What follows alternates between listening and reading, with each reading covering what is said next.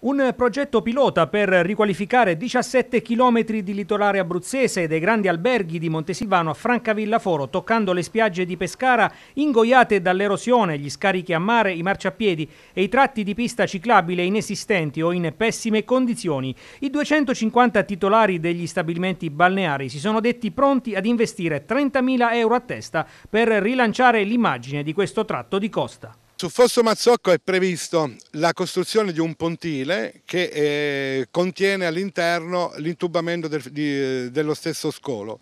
Successivamente realizzeremo prospicente la Stella Maris, la riqualificazione delle scogliere, la costruzione di un progetto nuovo che parte dai grandi alberghi fino all'altezza di via Marinelli a, a, questo aggiungiamo anche il potenziamento dei, delle, dei, marciapiedi di Montesilvano. Sulla città di Pescara ci sarà la risagomatura di tutte le scogliere esistenti e la costruzione di circa 5 parcheggi sul territorio di Pescara, due su Pescara Sud e tre su Pescara Nord. Questo significa che noi entriamo all'interno dell'amministrazione comunale ponendo questa nostra idea progettuale e pagandola. Oggi vogliamo fare un investimento che sia non soltanto sulla struttura balneare ma anche sulle opere pubbliche.